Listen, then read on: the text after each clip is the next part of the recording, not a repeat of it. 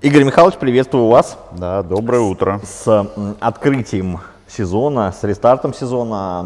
Две игры сегодня обсуждаем. Во-первых, это игра «Зенит», э, м, «Зенит-Арсенал», сенсация, и матч э, «Динамо-Спартак». Начнем с «Зенита». Э, Что вам бросилось в глаза, если, конечно, брать стартовый состав, ну и по игре?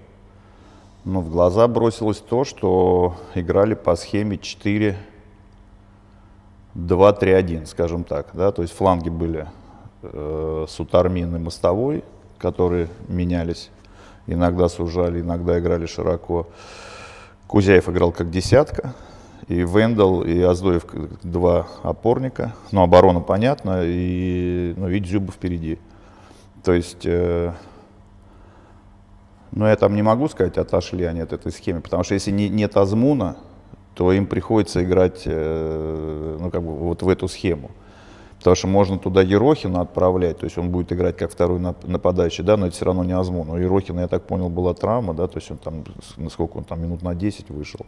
Вот, а в отсутствие Азмуна э, схема такая, им приходится играть э, тройкой э, в центре поля.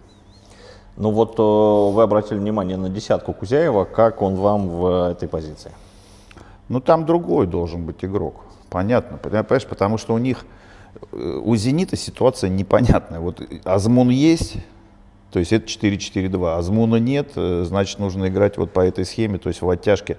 То есть может играть Кузяев, иногда там Вендел играл, иногда там поднимался, иногда Ерохин, тоже можно говорить, да, что он тоже все-таки в оттяжке играет. Иногда Дриуси там играет.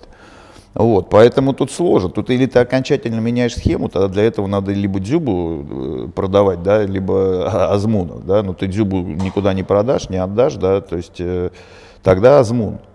Либо они должны знать, ну как бы, знать вот эти все, все движения, перемещения вот в этой схеме, потому что я чувствую, что они, им некомфортно. То есть они вроде как начинают играть низом, а у них ничего не получается. Они не могут приблизиться к воротам, они не могут создать момент через середину. Вот при такой э, схеме. И- Или им надо брать действительно десятку, который будет, ну, но это уже должен быть игрок основного состава, и я думаю, стоит он немало. А так пока, то есть, ну тогда ты, ты переходишь основательно на эту схему и играешь, у тебя Дзюба впереди, а Змуну ты продаешь там миллионов за 25, и за 25 берешь э, десятку. То есть вот такое перестроение должно быть. Но только другой вопрос, кто Дзюбу будет заменять потом? Понимаешь, там надо тогда еще, и, и- если с Дзюбой что-то случится, то есть кто там будет играть? Да, и, и- и если, например, с этой, с этой десяткой что-то происходит. Ну, то есть это вопрос, э, такое рассуждение, но это вопрос под следующий сезон. Сейчас точно такого не, не произойдет, поэтому вот эту, э, вот эту вот позицию, там то Кузяев играет, то Ерохин, еще раз повторю, то Дриуси играл там, ну, все так. Как-то вот, э, ну, мне кажется, что не так комфортно они себя чувствуют. То, что мы увидели, кстати, во втором тайме, когда они, то есть в первом тайме я посчитал всего две длинные передачи от Ракитского были на Дзюбу, то во втором, когда они уже проигрывали, они начали туда грузить и, и все равно при- перешли на этот, э, на этот стиль.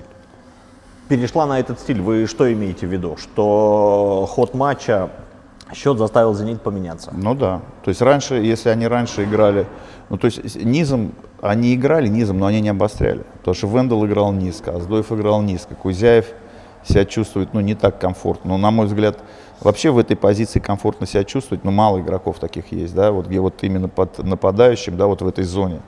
То есть, чтобы получить, развернуть, обыграть, отдать, там, пробить, там, штрафной заработать. Но Кузяев, не, ну, он, ну, по своим характеристикам, он, ну, то есть, ты его туда ставишь, но это не, ну, как бы это, ну, не полноценная десятка, да, то есть, то, что мы подразумеваем, ну, по крайней мере, то, что я подразумеваю под этой позицией.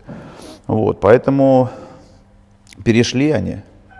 То есть, если с Азмуном они могли играть и в первом тайме, так, да, то есть, если адресов нет, например, в два нападающих ты играешь, у тебя только Аздоев, например, и Бариус. И часто получается так, что э, их перекрывают, и идет длинная передача, и они из этого что-то, ну, что-то создавалось. Да. И Азмун в том числе, когда есть, то есть он и за спину бежит, он и под сброс может, под зюбу, то есть там и плюс еще крайний нападающий, то есть там вот такая вари- вариативность после этих длинных передач есть. Э, Здесь э, не было. Вот. И во втором тайме, да, когда они проигрывали, то есть они, то есть есть команды, которые продолжают играть в этом стиле, да, вот как они играли первый тайм, пытались, но они ничего не создали, у, у «Зенита» ни одного момента не было в первом тайме, но играли они низом. Но это опять два центральных защитника, крайний защитник, Вендел, который низко опускается, Аздоев, который низко опускается, а как только чуть низом туда вперед, там ничего не создавалось, ничего не завязывалось, то есть там, ну, они не могли ничего сделать. Соответственно, то есть это либо выход на фланге подача, либо длинная передача, сброс, чирк какой-то, и вот там подбор. Вот, ну, то есть, э, понимаешь, у них под, этой, под эту схему, мне кажется, у них нет игроков, у них нет нету вот 10, ну, 10 номера вот этого, да, под нападающим, который мог получать, разворачивать, там что-то создавать. Поэтому э, вот эта как бы манера игры, она получилась так, что она совсем не опасная для, для Арсенала. То есть они, в принципе, компактно играли, перемещались, и, и «Зенит» ничего не мог создать. Но они, в принципе, ничего не создали за всю игру, кроме удара Караваева э, в начале левой, первого с тайма ноги, с левой да? ноги. И все, в общем-то, у них ничего не было. А то, что, почему они не создали ничего по, после длинных передач, то есть, на мой взгляд, это Дзюба не в порядке. Опять, то есть я вот определяю Дзюбу, когда он в порядке, когда он вот эти длинные передачи, он, он их чиркает, на грудь принимает, да, ну, по крайней мере, навязывает борьбу и выигрывает эту борьбу. Здесь он все проиграл. Но это, наверное, комплимент надо сделать и, и, и Бурлаку, и Григолаве. и Григолаве, которые, в принципе, они все выиграли. То есть они как-то вот так. И, и, и, соответственно, если Дзюба, вот я определяю по длинным передачам. То есть если он перестает там цепляться, соответственно, он, ну, как бы он не в тонусе. И, и, и это значит, что и ногами он где-то, то есть если он будет куда-то отскакивать там во фланг, да, чуть пониже, э, он не будет э, так уверенно играть. Но здесь проблема в том, что он э, просто поздно начал подготовку к сезону. Все-таки mm. из-за коронавируса у него, по-моему, только две недели подготовки. Но видим, но я думаю, что связано с этим, да. То есть, хотя бы, потому что, понимаешь, у него такой, ну он, он, ну он мощный, он высокий, да, он мощный, там, я не знаю, насколько он там Э, ну, я лишняк у него, ну, лишний вес я у него не увидел, да, как бы он так, но игровой тонус, все-таки, понимаешь, возраст, он дает о себе знать, но на самом деле, мне кажется, что когда ты помоложе, ты побыстрее, вот у тебя отпуск начался, да, вернее, вернее закончился, и ты там побыстрее, пум-пум-пум, там, ты, и ты в тонусе, да, все-таки игрокам опытным, которым, ну, там, которые уже там, ну, сказать, опытным назовем, не возрастным, а опытным, им все-таки да. побольше нужно времени, чтобы при, прийти э, вот в игровой тонус. Но все-таки как на «Зените» эта история? Так, что, что сегодня? Сегодня лемон, пока грузим лемон. А с чем это связано? Это связано, что я сегодня вот сказал, например, жене говорю, давай сегодня яблоки, например, для да. разнообразия, потому что там ребята, говорю, подписчики Сергея интересуются. Она говорит, а я уже лимон нарезали.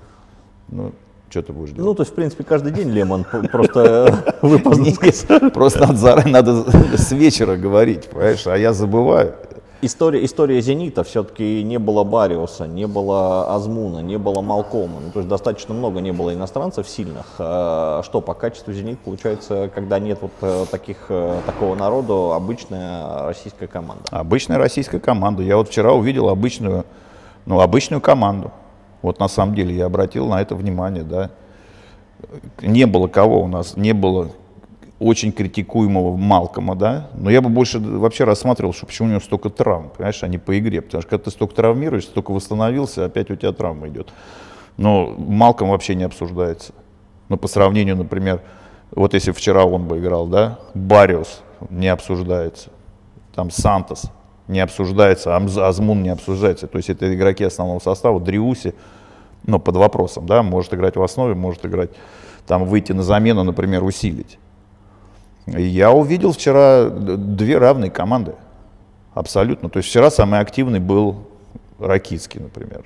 То есть он больше всего с мячом был, он пытался туда подключаться. То есть вот он все, кстати, он все стандарты подавал и угловые, и, и штрафные. Угу. Подавал э, Ракицкий. Это говорит о том, что ну, ну, никогда, никогда такого не было. Я первый раз видел, чтобы центральный защитник, понятно, что классная левая нога, но я ни разу не видел, чтобы подавал центральный защитник. Это тоже, для меня это тоже показатель. То есть из всех вот из атаки, из всей вот этой группы из шести человек нету э, игрока, который э, подаст лучше э, штрафной или угловой, чем Ракицкий. Для меня показатель тоже определенный. Вот, и, конечно, это мы будем, можем говорить, пол команды не было основного состава. Дальше вопрос.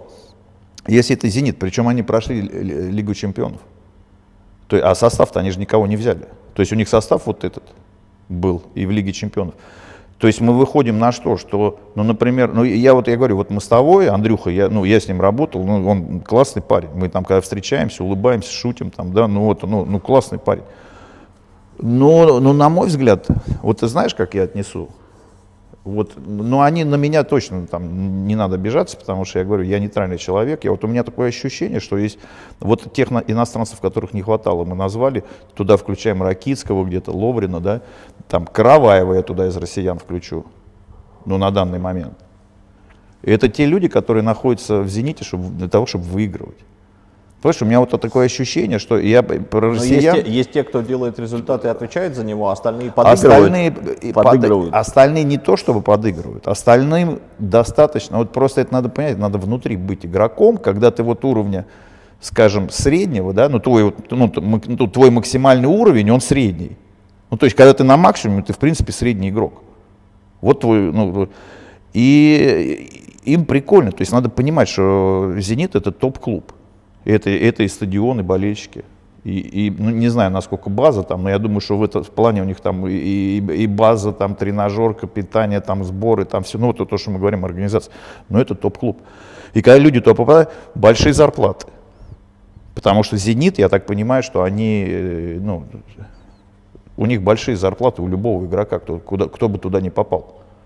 То есть они дают там зарплату, за счет этого они перебивают конкурентов, как бы забирают к себе, да, а потом раздают в аренды человек по 10. Но вот у этих 10, у них большие зарплаты. А, а те, кто остаются в «Зените», мне кажется, им достаточно того, что они в «Зените». То есть они уже, это, они уже довольны тем, что такая организация, я там, о, у меня здесь, здесь Ракитский, здесь Дзюба, там, да, здесь там иногда там Миллер там зайдет в раздевалку, да, там вот ну, какая-то вот такая история. И мне этого хватает, понимаешь? Не то, что это хватает, мне это хватает, и меня это, ну, ну мне вот этого достаточно. Понимаешь, вот в этом отличаются футболисты как бы большие, да, от, от, там, от средних и маленьких. То есть они играют в футбол для того, чтобы выиграть. Я не, я не в обиду никому, я просто это вижу. Понимаешь? И, и тогда получается, когда вылетают вот эти иностранцы ведущие, да, их, кто их заменяет? Ну, ну совсем неполноценные замены. То есть тогда мы выходим опять на что? что ну, э, то есть российские игроки в «Зените», они «Зениту» не соответствуют, потому что «Зенит» хочет выигрывать чемпионат и хочет доходить до полуфинала там, или четвертьфинала Лиги чемпионов. Понимаешь, эти вылетели, на замену приходят люди, и я увидел просто две равные, ну, ну две равные команды. Просто Арсенал там построил ну, игру таким образом, потому что они тоже приезжают в «Зенит». Да, ну там «Зенит» и мы строим, но они выстроили нормально, у них сложилось, в общем-то, нормально. А «Зенит»-то ничего не, не создал, то есть недооценка – ну как, как вот там, например, тот же мост, ну мостовой, да, я там Андрюха буду говорить, там, ну, потому что я его знаю, я, он, он не обиден. Ну как он может недооценить uh там э, игрока из Арсенала? Ну как такое может быть? Кто там Бауэра против него играл? Ну как такое может быть? Я, я вот не представляю. А мне кажется, вот какая-то вот такая история. Да ладно, дожмем, там вы. Вот у них это идет уже год второй. Поэтому я, я вот еще, мы с тобой как разговаривали, я видел в этом причину, ну я так, не то что причину, сейчас я уже вижу в этом причину, а до этого я говорил, они могут за это поплатиться в Лиге Чемпионов. Вот с таким подходом. Мы выйдем, если, если надо, дожмем там, да, там быстро за, забьем, забьем 4, да, там долго не будем, первый пропустим, ну там дожмем, дожмем, а где-то ты не дожмешь, а в Лиге Чемпионов там вообще не, не, не, не, у тебя те шансы не дадут там никого дожать и очнуться даже не дадут, если ты не подойдешь правильно э, как бы к игре. Угу. Понимаешь, ну вот, вот какая-то такая история. Поэтому мы выходим на что? На то, что, то, что мы про Спартак говорили, что ну, если ты хочешь там быть, если ты хочешь быть наверху, выигрывать чемпионат, попадать в Лигу чемпионов там достойно выступать, по игрокам у тебя дубли, ты дыры не должен затыкать. То есть у тебя, если уходит Малком, то ну, чуть, может быть, да, похуже. А, и вот в этом конкуренция. Малком выпал, зашел игрок, пусть он там россиянин будет, не россиянин. Он зашел, отыграл так, что потом подумают, Малком ставить или нет. А здесь вообще, ну, как бы без этих, без вариантов. Потому что ну, я сейчас про крайних нападающих говорю, про наших. ну, про наших говорю, про россиян, да, у «Зенита», да, и про, и про Вендела я тоже говорю. Но это там так любой сыграет. Я просто о, о чем, вот я вчера тоже говорил, я вот так подумал, там Кангва и Ломовицкий, два крайних. Да. Ну и тот, ну как бы Ломовик, ну как они сыграли, они как одинаково сыграли. Просто этих Ломовицкого с Кангвой не видно, хотя Ломовицкий головой пробил, там Кангва не, не важно. Я себе так, знаешь, подумал, а вот если Кангва и, и Ломовицкий поменять местами с Мостовым и с, э, с Утурминым, то же самое все будет. Понимаешь, может, может быть даже Зенит бы получше бы сыграл бы, чем... А может быть и нет, не знаю. Ваша оценка судейства? Вот этот момент, когда мяч э, выбил, выбил из рук и по, по пенальти. Вчера я был на, на Матч ТВ, да, где с четырех точек показывали вот момент, первый гол «Зенит» забил. Вот э, удивительная вещь, но я об этом и говорил. То есть четыре точки. Да. То есть с одной точки, вот я две отметил, где четко было видно, значит, с одной точки он ловит мяч, удар идет по, по, по руке, он этот мяч как бы выпускает, и он там как-то залетает. Фол чистый. Из-за ворот, когда показывали, он ловит мяч, начинает приземляться, то есть просто он близко к нему стоит, игрок, да, и он вот начинает на игрока приземляться и попадает там, ну там не в колено, а может чуть пониже, в, там куда-то в голень. И мяч залетает в ворот. Чистый гол. И вот здесь вопрос по вару. Ты, вот ты приходишь, почему судье было тяжело, потому что он посмотрел и тот, и тот момент. Вот если бы ему показали один момент, он сказал, фол, гол отменяем. Посмотрел бы другой момент, он сказал, гол чистый. А ему показали два, он думает, что делать. Ну вот он принял такое решение. Вот, сложно, потому что, еще раз, э, бывают такие моменты, вот вчера было три момента, спор, ну прям вот 50 на 50. И ты не знаешь, что делать. И тут уже начинается, а, только ты что, а, а, зенит. Понятно, поэтому засчитали, да, там, а там раз, и вдруг раз в обратку Ловрен. Что уже, уже не зенит тогда, уже Спартак тогда вмешался, наверное который вылетел из кубка. Ну тут вот такие какие-то истории. Понимаешь, очень много возникает. И здесь не квалификации судей, здесь даже вот по, ну, по телевизору, ты по экрану ты не можешь определить четко. Ловрин. Дальше у меня вопросы по Ловрину. Ну, опять, я говорю, вот начинается судейство. Вот мне кажется, так будет все время, пока мы ну, формулировки правильные не сделаем. Вот у нас судьям будут кидать каждый тур вот такие ситуации, где они разобраться не будут, пока они действительно не разберутся. Так. Потом Ловрин, вот он, смотри, у них формулировки какие? Значит, э, первая игра рукой. То есть игра рукой, когда ты рукой играешь. Вот как в волейбол. Вот игра рукой, ты в волейбол играешь, да, там, или вот так, или вот так. Да, э, первая формулировка. У Ловрина была такая ситуация? То есть он играл рукой? Ну, так как вы говорите, по волейбольному нет. По волейбольному нет, он просто выпрыгивал, у него рука. Дальше. Рука в естественном положении или не в естественном? Она в естественном была или в не, не в естественном у него? Вот когда он выпрыгивал и головой оттуда доставал мяч. На мой взгляд, естественным. Вот. Дальше. Э, э, увеличивает объем тела. Или не он увеличил вот объем тела? Или вот это что вообще за формулировка в принципе? Самая дурацкая формулировка, вот я говорю, пока они ее не уберут, и, и, и там и вот это в естественном положении или нет, и расширяет, э, ну вот пока они это будут говорить, мы вообще ничего не поймем никогда увеличивала, что она увеличивала или что она делала? То есть куда, то есть не увеличивает, когда, когда руки или вот так у тебя здесь, или они за спиной, вот тогда не увеличивает. В естественном положении игры рукой не было. То есть он не выбивал никуда, да? То есть он выпрыгивал, рука здесь, то есть он сыграл головой, вот так прокатилась. Но я не знаю, вот, вот давай э, э, это сам послушаем, что они скажут. По мне, я не вижу ни одного из трех вот этих формулировок, из которых две, самые мутные формулировки, две – то есть игра рукой, я понимаю, вот у нас между нами мяч, там, я, я раз там выбил, игра рукой. Uh-huh. То есть, ну, либо у меня руки, ну, неестественном положении, руки, они где? Вот здесь. То есть я вот руку выставляю, мне мяч попадает, я, я понимаю, что это ну, неестественное положение, ты так не играешь в футбол, так в волейбол играют. Если они у тебя здесь, они все время в естественном положении. Но в то же время они все время э, увеличивают площадь тела. Ну как вот здесь разобраться? Я не знаю, как у них голова не это самое. Или, ну, или это, наоборот, это сделано для того, чтобы вот это в, каких-то ситуациях принимать был... одни решения или Конечно, другие. Чтобы был орден друидов, который понимают только они. Ну что здесь непонятно? Не, ну логично, вот сейчас мы с тобой говорим, логично. ну все логично. Да. Вот, поэтому по мне, он ничего не сделал из трех. Ну, как бы не- из трех вот этих формулировок там ни одной не было. Ну, дается, ну, как пенальти дается. Формулё... И, и главное, самое интересное, что вот сейчас игра прошла, ну, ну, как бы вот эти спорные моменты накапливаются, они еще сегодня наверняка будут, завтра, но вот эти три, они вообще уникальные, вот просто уникальные, вот просто 50 на 50, вот с Ловриным, по мне, больше не, не пенальти это, чем пенальти. Вот. Пусть они дадут до следующего тура нам разъяснение. Они через, не через месяц. То есть они через месяц они соберутся и скажут, вы знаете, по игре уже пройдет три тура, да, они по игре нам скажут, вот по игре Арсенал э, Зенит, мы, мы там это признали, это не признали, да всем уже все равно. Так. Пооперативнее им чуть-чуть надо это все, это все решать, чтобы вот, или пока это все горячо, пусть сейчас, пусть завтра, послезавтра объяснят. Передадим вашу просьбу. Во, передайте. Хорошо. Вот э, то, как «Зенит» провел эту игру, вот эти кадровые проблемы «Зенита», у вас, э, ну, как бы поставили под сомнение, что «Зенит» э, выиграет золото чемпионата? Вот таким составом они займут третье место. И вот как они играли, и, и с такой лавкой. Если я не знаю, когда восстановятся остальные.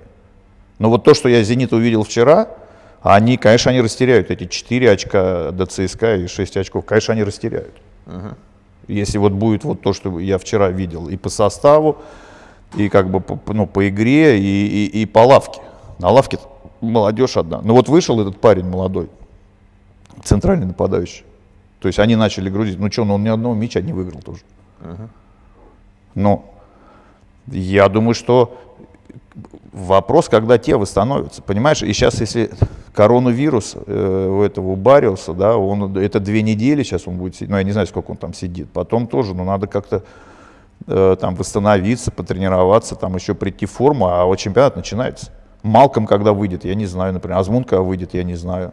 Сантос выйдет, когда ну, я не знаю. 4 недели, да, из которых одна прошла, то есть три Уже недели. все. Вот видишь, ты говоришь, Зенит чемпион там или Спартак э, там навязывает. Мы вот говорили, Зенит чемпион. Сначала, мы, я, помнишь, мы с тобой говорили, там сколько прошло, там, 4, там 5 туров прошло, мы говорим, Зенит чемпион. Потом бах, там яма, Зенит уже не чемпион. Сейчас опять все говорят, Зенит чемпион, 5 человек сломалось, уже, уже вопрос. То есть здесь все так происходит. По «Спартаку» то, как складывался матч, а, то, как он завершился, для вас неожиданность? Нет, ну я, я, я до игры я считал, что игра будет равная. То есть результат там. Я не думал, что там преимущество. Как... Не, во-первых, я не понимал, э, по какой схеме будет Спартак играть. Вот. Но тут, тут надо еще поговорить о том, что вот Динамо приехала из, из тепла, скажем так, да, там, но не из тепла, там из, из плюсовой температуры Да. приехал за два дня Да. до игры. Спартак приехал в минус 15 за 10 дней. То есть они там 10 дней, там, ну сколько-то, ну там 8, ну я не знаю точно. Но ну, прилично, в принципе, они сбор провели при минус 15. То есть вот эти решения, э, ну, они, вот смотри, по Спартаку, оно очень, ну, для меня очень странное, потому что я, ну, опять же, исходя, ну, там есть перспективные тренеры, да, которые пробуют разные вещи, ошибаются, и вот таким образом набираются опыта, ну, чтобы дойти до такого уровня, что ты стал не перспективным тренером, а просто тренером уже. Понимаешь? Я, я вот э, к чему говорю? Вот мы играли э, с Краснодаром. Ну, вот мы играли в Екатеринбурге, было минус 15. Но ты же не едешь в Екатеринбург за три дня, чтобы адаптироваться. А ты едешь из плюс 5, например. Вот в Краснодаре плюс 5, в Екатеринбурге там минус 12, минус 15. Ты едешь как? Ты тренируешься в Краснодаре, ну как бы в, в этой температуре. Обедаешь и вылетаешь, и прилетаешь, и на следующий день играешь. То есть люди выходят, ну минус 15, минус 15. К- Там вопрос, какое поле. Ну и ты играл. Вот мы играли, я говорю, мы там, и мы эти игры выиграли. Мы на искусственное в Пермь приезжали, в минус 15 играли. Здесь, я говорю, ну ты не едешь за, э, за три дня адаптироваться. Но это, по мне, э, когда потом они говорят, я просто тоже об этом же говорили, обсуждали. Говорят, мы посоветовались с врачами, кто там врачи, я, не понимаю, да, там мы посоветовались там с кем-то, они еще советовались, с игроками, говорят, я, я прям уверен, все, все игроки сказали, да, едем в Москву в минус 15, будем, будем 10 дней тренироваться. Ну, какое-то вот решение, понимаешь? Вот сейчас бы они выиграли бы, и эту бы тему затрагивали. Перспективный Тедеско сделал ход конем привез команду, которая просто в минус 15 там неделю там, или сколько, 8 дней тренировалась. Ты знаешь, какой минус 15 играть? Это, не, это сложно тренеру. Вот я помню, как я одевался на игру эту в минус 15. Там поддеваешь вообще все, что есть. Там шапка у тебя, да. Бедные запасные. Они, они там тоже все одевают, там пледы какие-то. Вот они сидят. Ты на игроков смотришь, они нормально себя чувствуют. То есть они выходят и, и нормально себя чувствуют, и, и, и двигаются, как бы, и, и все нормально. Тренировочный процесс. Вот ты понимаешь, я, я там, ну, я смотрю так все, где там, ну, там, Спартак, например, да, там ты раз выходит, там тренировка, мы смотрим, там ТДСК снег расчищает, там все понятно, поля, поляна вообще не, ну, ну она, она замерзшая. Это Тарасовка, это не открытие арены или, или не стадион Динамо, да, где там включают, там все подсеивают, включают, э, там накрывают это другое. Ну, ты, понятно, что они разминаются в зале. Но потом они выходят минус 15. Ну, ты, во-первых, у тебя, они должны все время, все игроки, у тебя 20 человек, они все в движении должны быть. А есть маленький квадрат. Я не знаю, маленький квадрат играет, он не играет. Но ты не можешь давать маленький квадрат, потому что это, ну, это стоячий. Ты не можешь давать удары поворотом, например, ну тогда все должны двигаться. У тебя человек минуту не может стоять, да, даже на двое, на двое ворот ты будешь бить. То есть у тебя все время, вот, ну, люди э, просто не понимают, ну, как бы, ты понимаешь? То есть тогда остаются двусторонки. 3 на 3, 5 на 5, 10 на 10, там, ну, только двусторонки. Ты не можешь тактикой заниматься. Ну, потому что если есть тактика, то она подразумевает перемещения какие-то, объяснения чего, тем более не схему там меняли. То есть это тоже убирается. То есть 10 дней они в таком режиме, то есть они выходят и просто играют в футбол. Потому что, ну, по-другому невозможно. То есть вот э, я говорю, и, и это, и, и это обсуждалось бы, сказали, вот, да, во, вот это решение, вот это перспективный тренер там начинается, да, то есть я, э, понимаешь, а в принципе все, ну там, по мне, ну, идеально можно было, если уж минус, ты знаешь, что минус 15, действительно, как Динамо приехать за два дня. выходные дать там на сборах два дня, пусть ты не сделаешь дела, сделаешь дела свои потом. То есть там приехал сразу на базу, два дня, две тренировки, и играешь, вот как они сделаны, но не мучить народ. И, и, и думаю, что я там посоветовался, со, со всеми посоветовался. Я опять, опять не в критику, я просто не могу понять каких-то вещей, понимаешь? Ну просто вот, ну, как, ну, логику я вообще не вижу. Никого, вот я тебе сейчас примерно рассказал, еще есть вещи какие-то, которые там, ну, ну вот то, что в минус 15 ты приезжаешь. Угу. Вот, и, и, либо ты приезжаешь за неделю, то есть ты определяешь там 4 дня до игры, например. Мы, значит, мы за 6 возвращаемся, 2 дня выходных даем, 4 дня тебе достаточно до игры.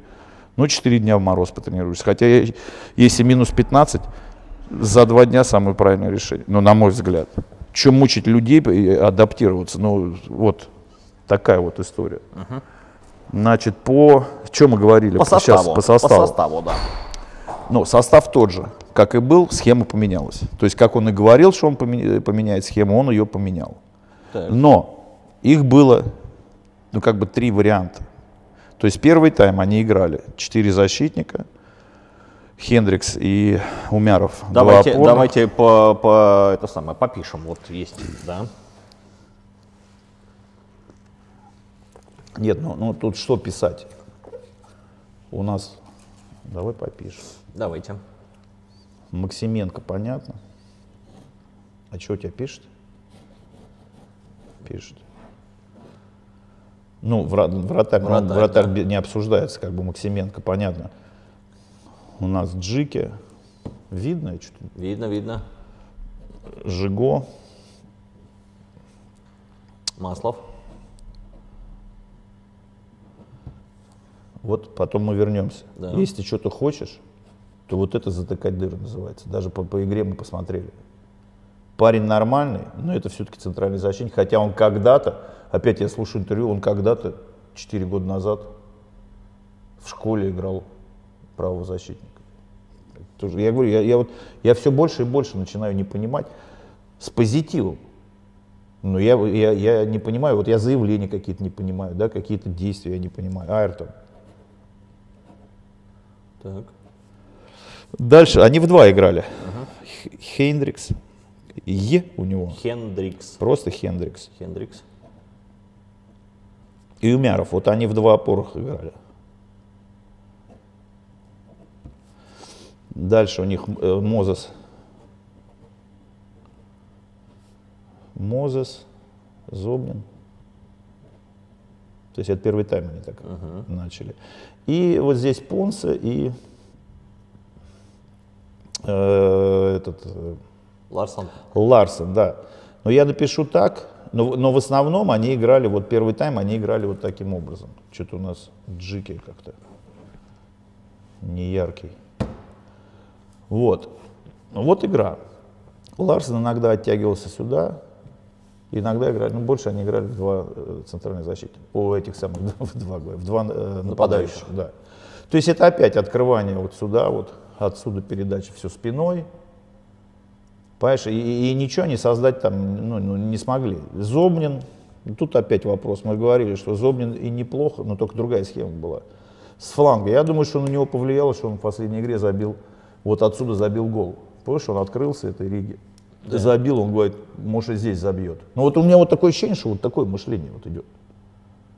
Понимаешь? То есть это вот первый тайм они так отыграли. Они не создали ничего. Здесь как бы опасность отсюда было больше, да, то есть это Мозес, если он вот здесь, вот в этих зонах получает мяч, он в середину уходит, несколько раз было, Айртон забегает, он может в середину играть, может Айртону отдать, ну как бы взаимодействие, здесь еще может нападающий где-то там появляться, ну то есть вот здесь у них был нормальный первый тайм, здесь пустота была, потому что Маслов это не Айртон, Uh-huh. Почему я говорил, что им нужно брать крайнего защитника, потому что а-ля Айртон. То есть это просто человек должен вот туда летать и возвращаться, летать туда, подключаться при таких схемах. Забегать за Зобнина, который будет выходить там в середину, я не знаю, что он там будет, ну не под свою ногу. Uh-huh. То есть первый тайм Маслова мы не видели. Ну я не, я не может кто-то что-то увидел, потому что я там слушаю Э, людей, которые вообще, они, они говорят даже, что Зомнин играл первый тайм вот здесь. Ну, ну, ну там все по-разному, я так понимаю, да. видят, видят футбол. То есть здесь ограничено, не подключается. То есть здесь больше думают об обороне, вот они втроем остаются, здесь этот сквозит, в середину уходит, эти опять спиной. Потому что нет вот этих передач, вот сюда их нет, они вот сюда идут все время, то есть ты спиной. Но иногда он опускался в эту зону но редко. То есть вот первый тайм, это первый тайм, вот я тебе пишу. Да. Это была вот такая история. Так. То есть здесь пустота, эти не подключаются, эти только на чистых мячах, также сваливались сюда иногда, этот сюда, да, там в середине получали, ну и так вот поперек. То есть в основном игра была, как обычно, вот то есть между собой они даже не играли. Но если играли, то только поперек. То есть вот туда передач почти не было обостряющих. Хотя Хендрикс, я могу сказать, что он смотрел туда. Он отдавал, он отдавал. И отсюда вот он нападающий. Но это опять они вот, Хендрикс, если отдает, она продольная передача, сзади защитник, ты, ну, ну тяжело. Они уже с этим столкнулись э, в Питере.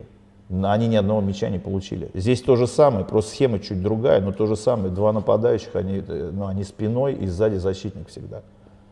Вот первый тайм. Вот второй тайм. До выхода Соболева. Давай оторву. Можно отрывать, да. До выхода Соболева. То есть они меняют. Да. То, что они... Вот, вот это они не тренировали на сборах. Да. Они это э, э, было похоже, когда Ларсон сюда садился, тогда было похоже. Как только он уходил туда, все. Угу. Ну, на сборах не было. Я три игры эти, ну там посмотрел, да, но здесь Урунов играл, у них, по-моему, три игры, что ли, Урунов. Что стало во втором тайме? Второй тайм. То же самое, давай, я не буду, на, только без изменений я не буду тогда угу. фамилии писать. Да. Давайте фамилии тех, где, где менялось. Пишу только те, да. где менялось, да. 5-2 опорных. И вот изменения. Вот Понсе остается. Изменения. Зобнин уходит налево. Налево. Э, Мозес уходит направо. Так. Ларсон опускается вот сюда. Угу. То есть он все, он начал играть десятку. Это знаешь, как было, почему заметно? По отбору, когда было два, у них вот э, Динамо играло два защитника, да, вот у них был опорный, Ларсон играл по опорному при обороне. То есть обычно, если в два нападающих, то выдвигается этот сюда, выдвигается этот сюда. Uh-huh. И Понце, ну как бы он так там перемещался между двух центральных защитников, а этот играл по опорному. То есть они поменяли местами, он поменял местами. И пошла игра. Uh-huh. Вот он играл здесь, и он мне здесь понравился, Ларсон. Потому что тот момент, вот, там, ну, можно сказать, единственный, я не беру там пяткой Зобнин там с углового, но это такое, ну, как бы, спонтанная история. А вот здесь он мне понравился. То есть сразу меняющая схема, ты посмотри, как они сразу 10 минут, у них там какие-то удары. Uh-huh. Вот этот момент, когда сначала бил Понса, потом Мозес. Зобнина не беру, потому что это стандарт. Но они владели инициативой, и он здесь отсюда. Вот когда он э, момент это создал, то есть он вот здесь где-то полполя, да, у нас он здесь, здесь где-то получил, он прям протащил на скорости, в ногу отдал этому Понце, он пробил, Шунина отбил, Мозес там добивал. Другая игра, вот схема, про которую я говорю. Понимаешь, поэтому я тебе говорю, что, но он все равно нападающий. Вот видишь, они играют, вот два, он нападающий, он всю, весь, всю первую часть он отыграл нападающего. Почему я говорю, что им десятка нужна? Ну не сейчас. Сейчас он уже эти составы, они будут, у них масло будет справа играть, и, и так это будет, вот он будет варьировать. То есть смена схемы. Да. Другая игра. Ну, ты можешь посмотреть даже по моментам. То есть 15 минут у них преимущество, они держат мяч, Динамо, ну, они оттуда вообще не вылезают. И Ларсон выглядит очень прилично. Вот он, вот, вот посмотри, у него какая зона как бы, ну, действия, она приличная, она да. большая. То есть не надо бегать там по всему полю. Вот тут получай здесь, разворачивай. Он но он скоростной, понимаешь, это не а-ля Роберто Баджа, как вот, ну, это я идеальную десятку там беру, да, кто, uh-huh. кто, все равно он больше нападающий. Но все равно у него, вот он, он как раз здесь, вот на просторе где-то он может убежать он может отыграться, он может пробить, но все равно не то. Но для сегодняшнего Спартака, я думаю, что это пока лучший вариант угу. десятки. То есть они так играют, создают моменты, потом они 0-2 проигрывают, надо грузить. Да. Выпускается. То есть что происходит? Вот третий вариант. Это вот 60 минут, я тебе пишу, ну сколько там, 65, по-моему. Да. И потом они возвращаются вот на эту схему.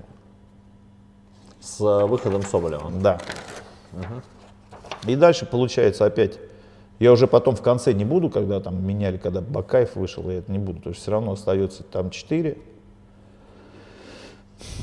Э, они убрали кого? По-моему, они убрали они Умярова. Умярова убрали, Умярова, да. Зомнин, вот, пошли, Зомнин, угу. Хендрикс, угу. пошли, Понса остался, Соболев, Угу. Понце. Вот опять два нападающих. И он что сделал? Он сделал этого самого, э, вот сюда вот он убрал, ну как переставил Ларсон угу. И Мозес. То есть вот следующая перестановка. Ну как бы вот три схемы, потому что Мозес... 65-я минута. Да. Ну, это вот Соболева. 25 минут. Вот так они 25 минут они играли. Вот таким образом. То есть вот ты видишь, что Зобнин отсюда уходит в середину, Мозеса передвигает влево, угу. Ларсона с десятки передвигает Направо. вправо, и в два нападающих они начинают играть. Ну и в принципе ничего, ну как бы все глух, глохнет, потом ну, удаление, и все, и на этом все заканчивается вся игра. Вот, я, я к чему э, все это говорю? То есть гибкость, с одной, я не за гибкость, вот я тебе честно скажу, как тренер, я вот Э, вообще варианта два. У тебя должен быть э, вот вариант. Вот смотри, ты играешь в три защитника, в четыре, неважно. Первый, первый у тебя должен, манера игры у тебя должна быть. Расстановка, манера игры. Моя расстановка, манера игры, как они играли, вот. Вот, как они играли, вот э, во втором тайме, сколько получается, 20 минут. Вот, расстановка. Угу. Причем один должен быть опорный здесь, да, и один еще, ну, может, это Крал, может быть, да, может uh-huh. быть, Зобнин, если мы про Спартак говорим. То есть он туда еще подключается, эти подключаются с забеганиями, остаются два центральных и Хендрикс. То есть у тебя вот такой треугольник. То есть если раньше с тремя у них треугольник был наоборот, такой вот нижний треугольник, uh-huh. да, вот три центральных, а здесь верхний. Вот, э, вот они, это лучший момент в игре да. у них когда они имели моменты. 45 по 65 да. да. Ну, до, до, до, до выхода Соболева, до замены Соболева. Угу. И там не, дело не в Соболеве, а, де, а дело в схеме.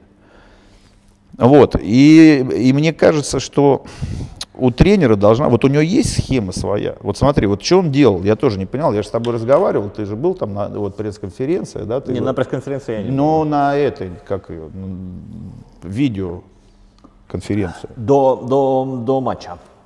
До матча. Был. Когда, вот, до матча. Да.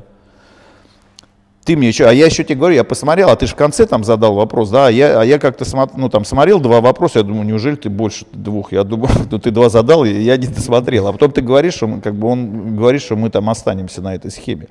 И я тоже не понял. Ну, но логику как не, не понял? Я понял.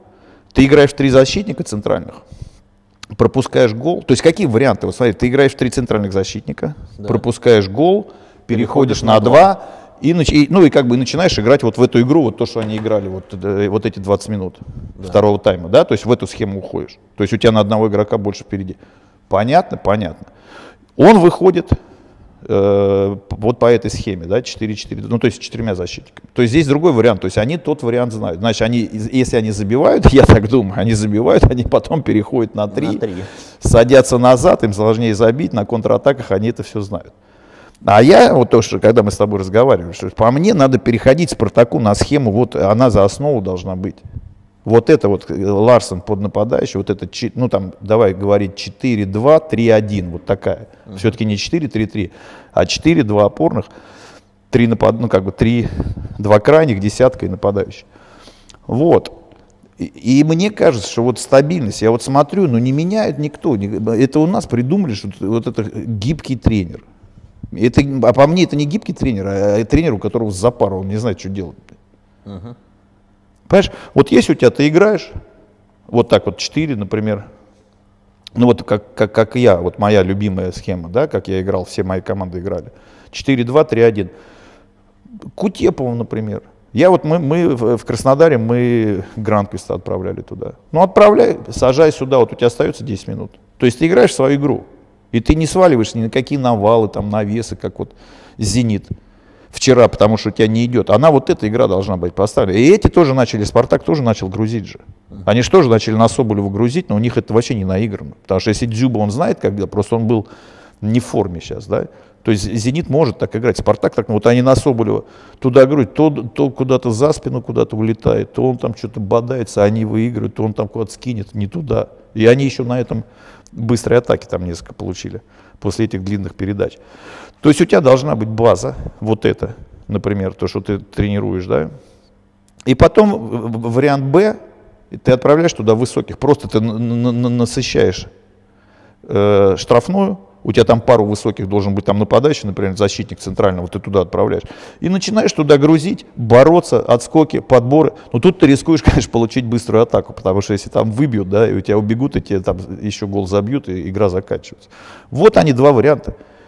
Какие эти самые, я, это, но это мое видение, со мной мож, могут многие не согласиться. По мне, ты неустойчивый тренер, не понимающий, как бы, ну, у тебя нет четкости и уверенности, если у тебя там 3, 4 или 5 вариантов. Ну вот, э, на мой взгляд, вот так. Поэтому не знаю, что они в следующей игре будут делать, вот на самом деле. Но по Спартаку я могу сказать, что, э, то есть вот он, ну это уже повторяться. То есть э, вариант, ну у него было три варианта. Я понимаю, когда смена идет флангами. Да, то есть, когда игроки, схема не меняется, но игроки позициями меняются. Потому что часто бывает, знаешь, ты там, к тебе привык защитник, ты раз там поменял, ему там сложнее. Ну вот то, что он сделал с Обнин, с Мозесом поменялись. И это я понимаю.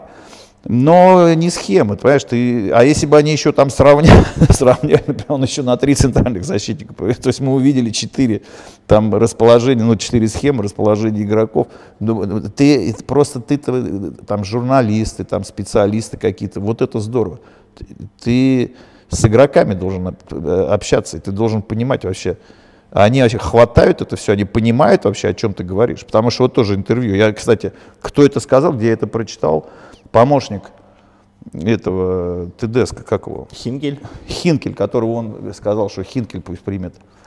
Они, ну, то есть я так понял, что он занимается э, видео, то есть он видео нарезки делает для него, да, и потом он проводит теорию. И когда он сказал, вот опять, но я не понимаю, или они вообще, вот для меня удивительно. Он говорит, мы делаем теорию 5-10 минут, чтобы не забить голову э, футболистам. Говорит, ну у меня Сашка 10 лет, у них урок 45 минут. То есть в 10 лет люди сидят 45 минут, хватают все, а тут 10, 5, 5. Ты представляешь, 5, 5 минут? Я понимаю, может быть, он имел в виду по линиям, то есть они берут защитников 5-10 минут, там, но здесь можно понять, и то маловато. Да, тем более, когда ты через переводчика говоришь. Там полузащитников берут э, на подачу. Мы так делали в молодежке. Но когда ты со всей командой говоришь 5-10 минут, потому что они, бедняги, э, не, за, ну, не запомнят что-то, им в голову там не войдет. Какие те четыре схемы? Ты одну тогда, ты, ну ты одну-то не можешь просто сделать. Но они сделали одну, вот эту три, вернее, пять, э, три, два. Ну, я, я говорю, Будет интересно, смотри, вот мне интересно, как они сейчас сыграют. Но по мне, одна схема, вариант А, это, по мне это низом, да, то есть это вот открывание расстояния между игроками, uh-huh. э, игра. Надо знать, как это тренировать, потому что если это только э, за 5 минут объяснить на, на, э, на видео, да, а потом идти и играть просто в двое ворот, потому что у тебя минус 15, ну ты, конечно, ничего, не, ну, ну, игроки не поймают этого всего. Вот, поэтому посмотрим, э, ну, Спартак, посмотрим, посмотрим, потому что я, я увидел неуверенного ТДСК, я не знаю, понимаешь, потому что результат какая-то... За счет чего Динамо победил, на ваш взгляд, главные факторы? Ну, за счет того, что Спартак ничего создать не мог. Ну что, ну они оборонялись. Где-то, кстати, они, видишь, с такой игрой, потому что все-таки Спартак играл низом, и у них в середине было ну, какой-то момент, вот как раз у них когда три было, они меньше ошибались. Когда у них было два, они ошибались. Э, уходил Динамо э, в быстрой атаке. Э, ну, Мне кажется, опять так, мы... так чай с лимоном может пролиться, да, если мы да, будем... Ну опять, ну такая игра, понимаешь, вот она, вот она складывается. Ну, она сложилась, пенальти, да, 1-0 повели. Спартак понимает, что, что в три центральных, что в два центральных, у них проблема с позиционной атакой, она, она так и осталась. Они сильны на, в быстрых атаках. Динамо вообще им быстрых атак не дало. То есть они вообще не, они надежно сзади, они не, не обрезали нигде, там где-то фалили, да, то есть ну, у Спартака быстрых атак вообще не было. Ну я не помню, может там была, была одна. То есть они вот это сделали, как бы убрали. То, что они знают, э, ну, проблем, 1-0 повели от обороны, там, быстрой атаки. Второй, ну, то, ну, два стандарта, пенальти и вот этот штрафной как пацан этот э, пяткой забил. Ну как, ну у него схема такая же, ну Грулев мне нравится, не знаю, там, ну, Шиманский, ну у них расстановка, вот про которую я говорю.